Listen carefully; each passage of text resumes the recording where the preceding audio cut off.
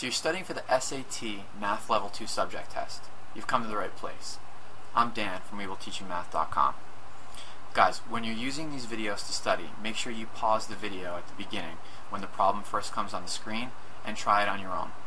Most of your practice should be done this way, actively and independently. Then, if after you try the problem on your own, you still find it tricky, that's when you watch the video explanation. In fact, you can use any resources that you have available to you to try to figure it out so that the next time a similar problem comes your way, you'll be ready. Enjoy, and thanks for watching. 19. Suppose f of x equals half x squared minus 8 for the interval when x is between negative 4 and 4 inclusive. Then the maximum graph, the maximum value of the graph, absolute value of f of x is what? So what are they really asking here? They're saying they want us to maximize not f, but the absolute value of f. So we should we should try two strategies.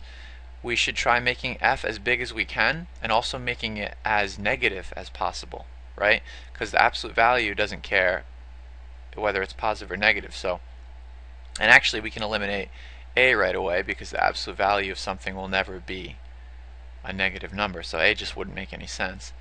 Um, so with that said, and we can choose any value between negative 4 and 4 inclusive. Um, rather than thinking about this as generally as possible and then picking off the answer from the choices, let's actually look at the answer choices.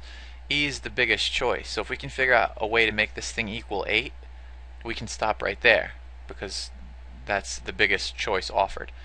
So one thing that just kind of jumped out at me is that 0 is between negative 4 and 4. So if we put 0 in here, f of 0 is 1 half 0 squared minus 8. And this whole thing is 0, so this just equals negative 8.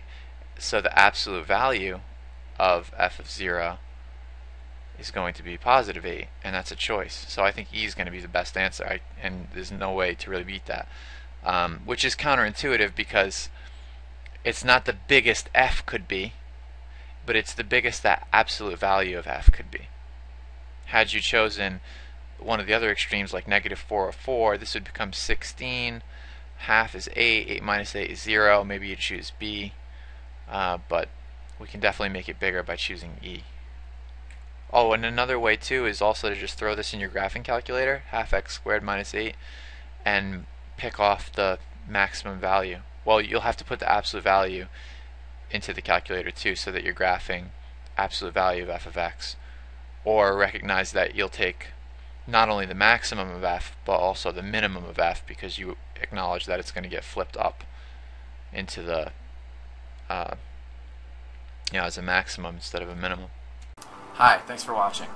If anything's still confusing or you need a little extra help, drop me an email, leave a comment, or give me a call. I answer every message. And if you want to check out more videos like this, visit WeWillTeachYouMath.com. See you in the next video.